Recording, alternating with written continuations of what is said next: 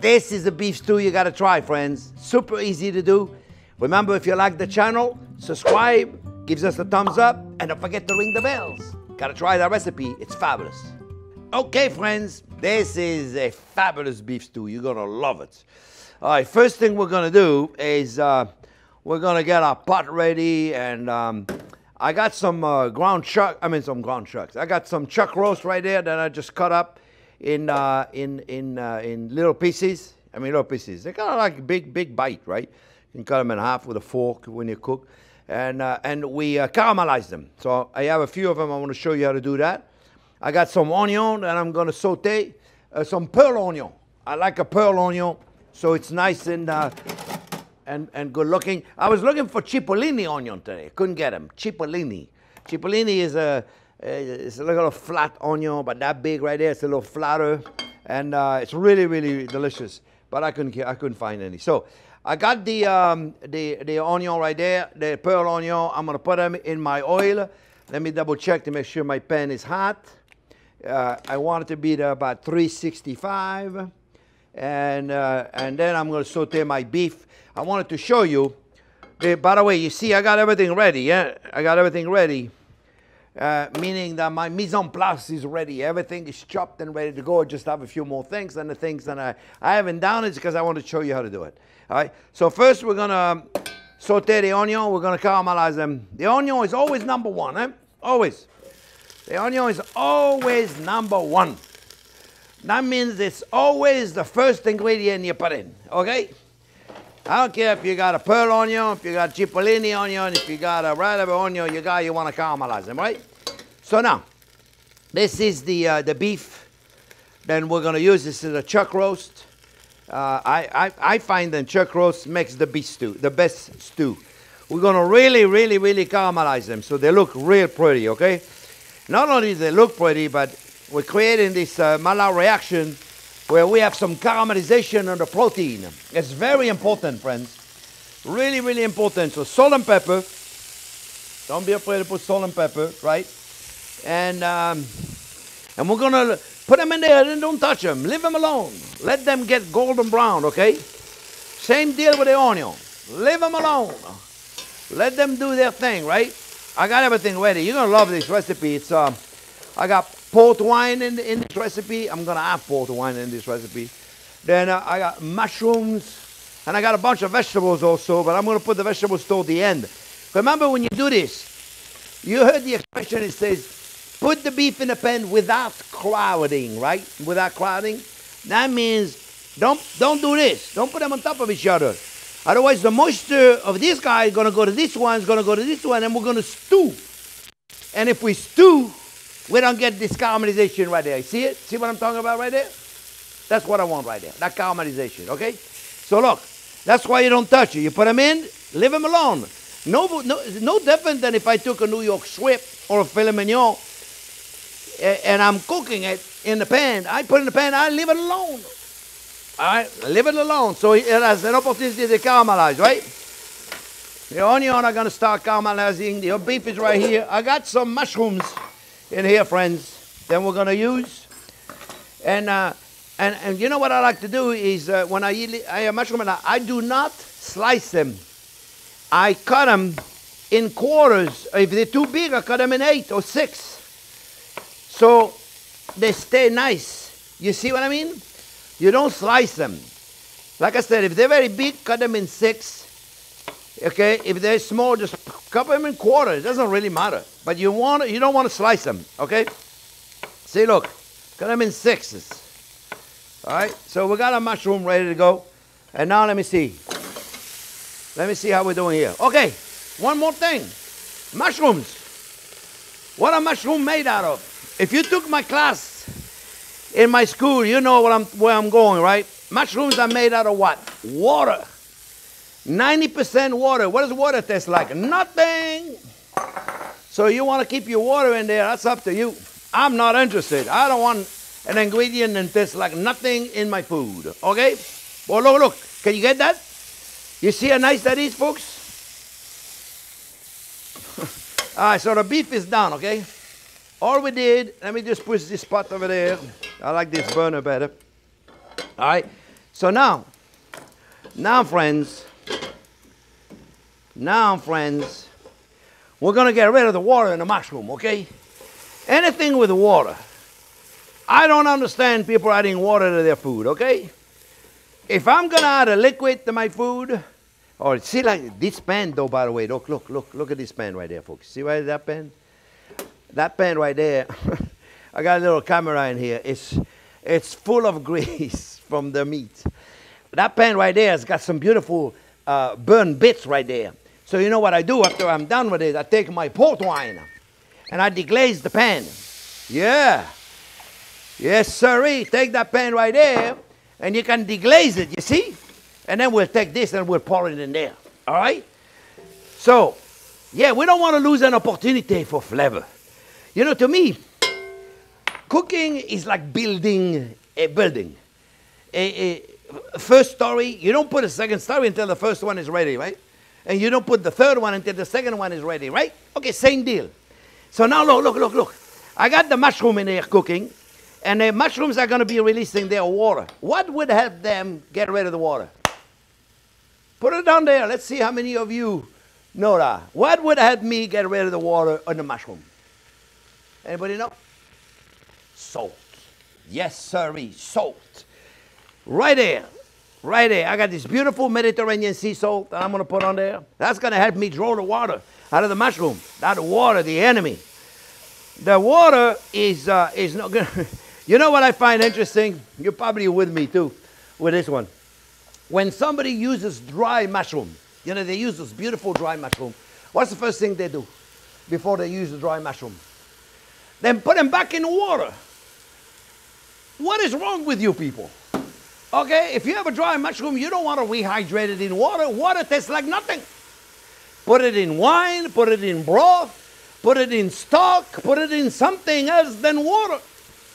How great is that if you picked wine, and, and let's say you picked a mushroom, and inside the mushroom there's Madeira wine. Oh, you can't buy those. but if you buy a dry mushroom and you rehydrate them in Madeira, you got a Madeira mushroom. well, that'll be something I should do. What do you think of that idea? Let me know in your comment, okay? Now, if you could be here right now, you would smell, oh, it's hot. You would smell onion and mushrooms that are releasing their water. Now, what's going to happen when they release their water, friends? They become nice and small, and that's okay. I don't need the water. Have you ever chewed on a canned mushroom? Don't do it. Don't ever chew on a canned mushroom. That'll give you a nightmare. I'm kidding. Eh, you think I'm kidding? No, I'm not kidding. We're going to put the garlic. And as soon as you smell the garlic, friends, the second you smell the garlic, which should be about right now, we're going to put our tomatoes. Oh, anything liquid. Okay, our tomatoes. I got beautiful tomatoes. And then, you know, I'm going to put that port wine that I got right there that I got from the pan and earlier at the beef in it, right? I'm putting it in there and I'm using the whole thing right there, right? All right, so, so far I got tomatoes, port wine, mushrooms, fresh thyme, fresh rosemary, little bit of tomato uh, puree. Let me get a spoon, little bit of tomato puree. All right. We're gonna we're gonna bring up the heat. It looks like it's slowed down all of a sudden. Okay. Um, Oh, oh, oh. I got tomato puree, and you know what I got also is cherry tomatoes. Have you ever used cherry tomatoes? Oh, they're fabulous. They're fabulous. Cherry tomatoes are fabulous. They give you a really, really nice texture to begin with, right? Nice texture. Cherry tomatoes. Look, look. But the problem is with the cherry tomato can, they got a lot of water in there. Look. I don't know if you guys can see that, but look at that. They got a lot of water. See, look at this. So I do it, taking the water out of there. Look, all right? If I want the water, I'll add some. We're going to put a little more port wine. You notice everything is carefully measured, eh? Be careful. then we're going to put the beef then we sauteed earlier. All right, so to save some time. We're going to mix all this up. And then we're going to put beef stock. All right? Now, I'll talk about beef stock in a second. You want to put a beef stock, okay? All right. Now, beef stock, friends, may be one of the ingredients that you don't necessarily have access to it. You see, not everybody's got access to a beef stock. So what I do is we make our own beef stock, of course, because we have a commercial kitchen. Not exactly easy for people to make a beef. Look how beautiful that is. Look at this. Look how nice and thick that is, folks. Look at this. See how beautiful that is? And the reason why it's beautiful like that is because when we make it, we put tomato paste in it and we cook it for 24 hours. So not exactly easy to do at home, right? How am I, how are you going to make a beef stock you're going to cook 24 hours? So see if you can find a shop that has a beautiful beef stock. If not, what do you do? I'll tell you what you do. Oh, it's starting to look good, friends. I'm telling you. I'm coming back here more often. The food is delicious. uh, let me tell you what you do, friends. You get yourself a, um, a um, and you know we're going to add to this, we're going to add some, uh, I got those baby potatoes. Look, look, look. I got them cooked already. I'm going to finish them up. Look, look how cool they are. Little baby potatoes. Right, little baby potatoes. And, and I got those uh, uh, baby Brussels sprouts. I already poached them. And, and then I got those little baby carrots. Look how small they are. so I'm, I saute them. I already poached them, so they cook, right? So I'm going to saute them in butter. I'm going to add them at the end. Because if I add them down, they're going to fall apart. They, this guy's going to cook. This is going to cook for two and a half hours. This is ground chuck. You want it to really, really, really be uh, uh, tender. You got to cook it for two and a half hours at a very, very, very low heat. Okay, that's the secret. Okay, so where was I? Oh, oh, yeah. Sometimes I lose track of what I'm talking about. And there's nobody here to remind me. So uh, to, to go back to the thing. But I was talking about a beef stock. So what do you do? Well, you buy a good beef broth. Buy a good beef broth. And, and add some tomato paste to it. If you have some extra leeks, carrot, celery, and onion, add it to it. And cook it for a little while with a tomato paste. And look, it's to give you a rich consistency like this and you can keep it in the freezer for 17 years, approximately. Don't quote me now. I can see people going, 17 years. We got, the, you know what we got with YouTube? We're good, we're lucky. We got recipe police. I love it. I got this thing where I do a recipe on, uh, where I'm, I'm peeling a tomato, tomato concasse, right? I'm showing people how to make a tomato concasse. I'm putting it in the water, and I said it should take about 10, 12 seconds. You know how many of them said, oh, it took 23 seconds. It took 20 I'm glad they got a better clock than me. now they got better things to do than, oh my goodness, he said 12 seconds, it's 23 seconds. What's wrong with him? Don't you have better things to do? Jesus Christ. Anyway, so look, now let's talk about thickener a little bit. You know, I, I, I like my beef to be so I'm to put on more beef stock. I, okay, well, why am I putting more? You're wondering, why, What, what's the matter with him? Well, because I like it to be submerged. I like my beef to be all submerged, you see? Right, submerge. That's, you know what that means, right? Submerge, like you're submerging it. All right, so now, flour. I could have put flour when it was dry, right? Dry beef, and you put it on there. A lot of people do that. I think it's okay. I got a much better trick, though.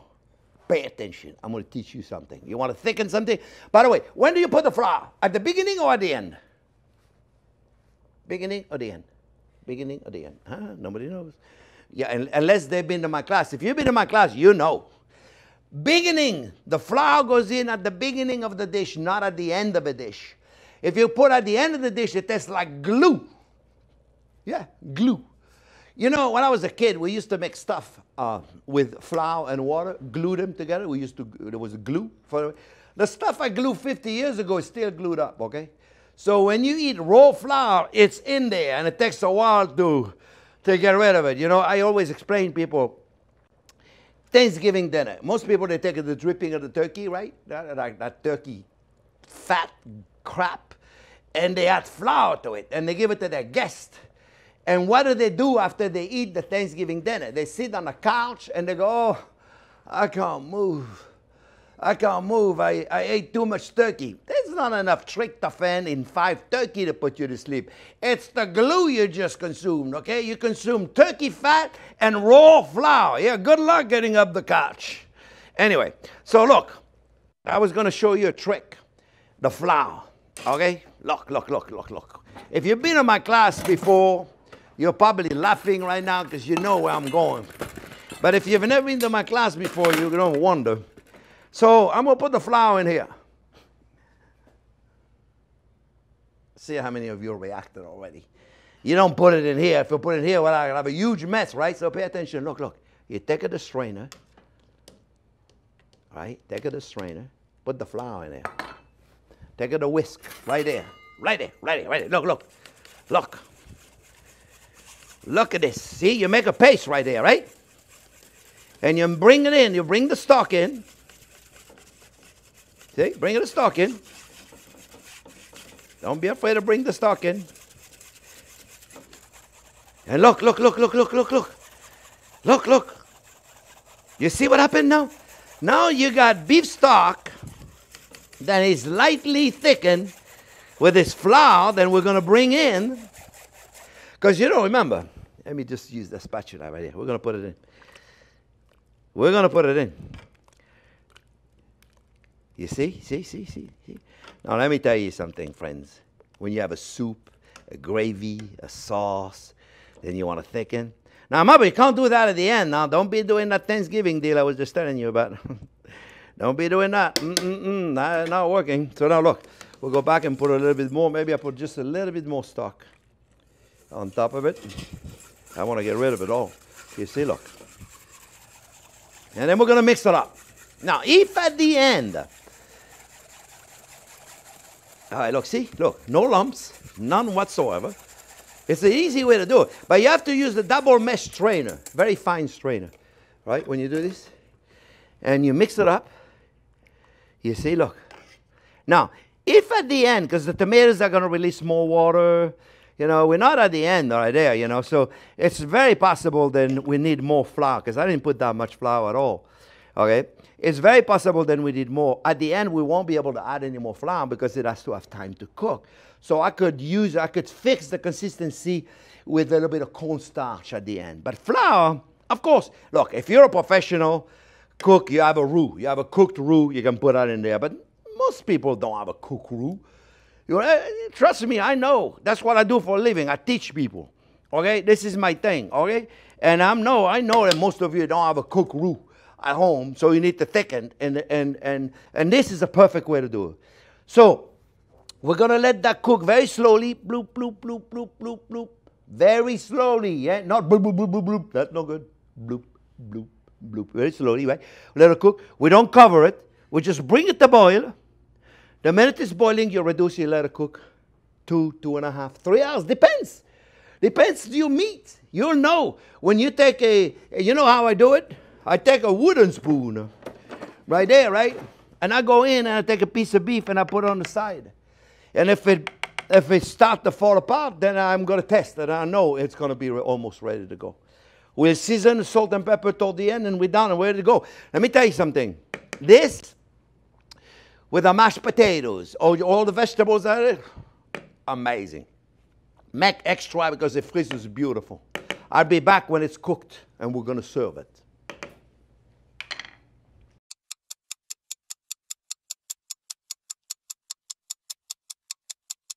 All right, friends, where two and a half hours went by. It went so fast, especially for you guys. and, uh, and this is cooked. And I want you to see the, uh, the thickness of the sauce. You see, it has to be covering the beef, right? So you, you, you see, look, there's sauce on the beef. If it was too liquid, it wouldn't be on the beef. It's kind of like when I make a gravy for Thanksgiving. I want it to stick on top of the turkey. Same deal here, you see? The sauce is on top of it. So what we're going to do, we're going to plate it. And, um, and all I'm going to do is I'm going to take my, my serving spoon, and I, and I got myself, I love those big big plate, big serving plate like this. I mean, we can certainly uh, uh, use the mashed potatoes, and we can do all that. But I got those cool little vegetables. Then I did, you know, I did some uh, baby Brussels sprout and uh, and carrots, and um, so I'm gonna do this right there, right? And I got, I sautéed, um, I sautéed some uh, some baby carrots and the, and the Brussels sprout and I sauteed them at the last minute. They cooked, right? So we poached them already. They're done. And I just finished saute them in butter real quick, you see? Just like that. Just, just really, really simple. Just let's not go crazy here, right? Just like that, right? And we got a couple of carrots in there. Nice, right? And then I got those uh, uh, baby potatoes I was telling you about. So I cooked those separately. I mean, you can cook them inside if you want. The potato, but you know what I find? I, I find that if you cook them inside, they lose their colors and everything, and they're not that attractive anymore. But but they're delicious. I mean, it'll be the same, right? It'll be almost the same. So just make sure your product is nice. It's looking pretty. We got uh, we got mushrooms, we got potatoes, we got all that stuff right there. You know the caramelized onion right there. Look at that. Oh yeah, baby. This is it. Oh yeah. Oh yeah. Here we go now. Look, look, look. I'll put a little bit of uh, uh, chopped parsley in here. Oh, yeah, baby. Now that's, friends, that is a beef stew à la façon Jean-Pierre. that would be very French. For that, That's for all of you that uh, thinks I'm faking the French accent. À la façon Jean-Pierre. You have to be French to say that, okay? So, God bless America. I love it. This is beautiful. You guys got to make that beef stew. That's a, an amazing dish and so simple to make. Remember, you're going to need a two and a half, three hours to cook it very, very slowly. I use chuck roast. Use whatever makes you happy as long as uh, it's nice and tender. And this is beautiful. Now remember, folks, if you like this recipe, I would love you to subscribe to our channel. Gives us a thumbs up. And don't forget to ring the bell so next time I publish a video, you get a notification.